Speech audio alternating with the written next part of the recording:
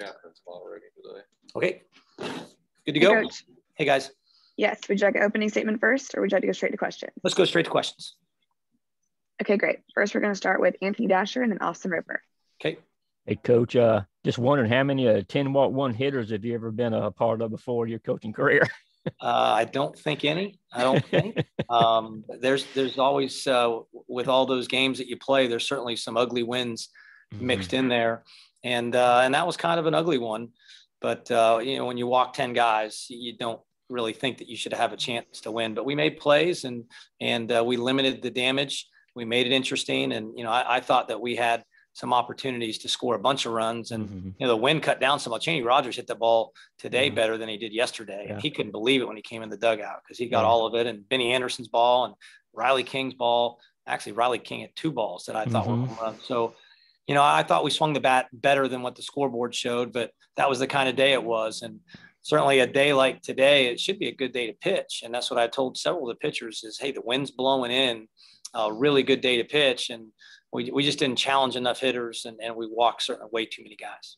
But but that that aside, I mean, so many of these freshmen you talked about before the series started was going to get a chance to come in here and pitch for the first time to get this experience right now, and to, for the most part, you know, you know, being very successful. What is that going to mean for this group now moving forward? These young kids.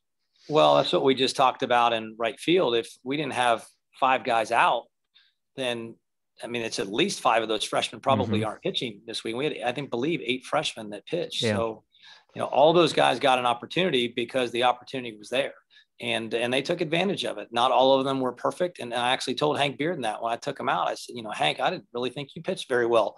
And he kind of looked at me funny, and I said, "But you got the job done." So that's the Mhm. encouraging thing is you didn't have your best stuff because we all know he Hank's really good and we know he's going to be really good for us and and he just looked a little bit off and and that's kind of what you expect from a freshman taking the mound for the first time at the University of Georgia. I mean, it's pretty nerve wracking. And, uh, but I, I thought they all fought through it and they did their jobs. And, and that's what we needed out of them. Who are you going to pitch on Wednesday yet? Do you know? It's a great question. Maybe you, Anthony. I, I don't know. We're, we're My going arm to throw, is shot, coach. I'm yeah, sorry. We're, we're gonna we're gonna throw we're gonna throw a lot of guys. Uh, we haven't figured out who's gonna Yeah. start. Uh, maybe Ben Harris. Uh, Yeah. Ben threw really well the other day, and and uh, you know he he'll be on some rest. Liam Sullivan uh, was a candidate. He threw today. Didn't throw a bunch of pitches.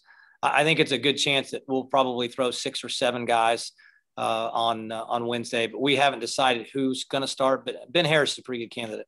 Cool. Thanks, man. Yep. Hey, coach. So with how um how the whole group of pitch like the pitching staff as a whole, I think you had 15 on the mound um this weekend or 13, something around there. But um with with how everyone pitched, you know, this weekend and moving forward, um I mean, where where do you kind of like how do you how do you work out spots for everybody? Because I mean, it seemed like you had so many people that that pitched pretty well this weekend. So I mean, where do you where do you find the spots going forward? Well, it's a good problem to have. It just makes things a little bit more competitive. And uh, when these guys come, Ryan Webb, we expect to have him back this coming weekend to pitch against Gardner Webb, and then Jonathan Cannon probably the following weekend or at least in the midweek, and and then Brandon Smith and Logan Moody and Michael Polk.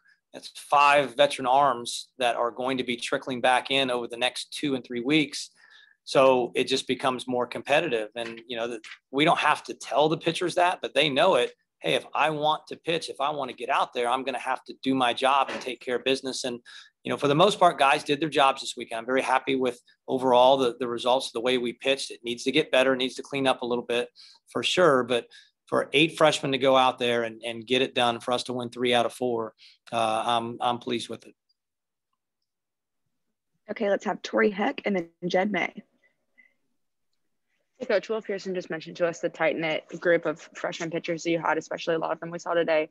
What have you seen as far as the camaraderie among those guys so far this season? Well, they are tight. A lot of those guys played summer baseball together. We recruited them at the same time. So these kids all know each other.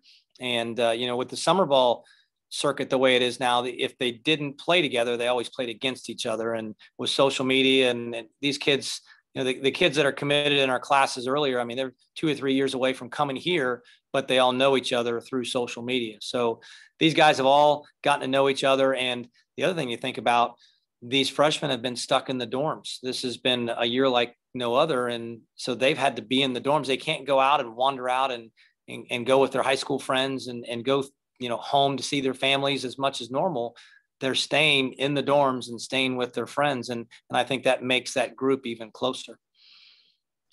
Uh, hey, Coach. Uh, I wanted to ask you about the offense. I think y'all had five extra base hits over the four games, but you still win three out of four. Uh, you were aggressive on the bases today, all that kind of stuff.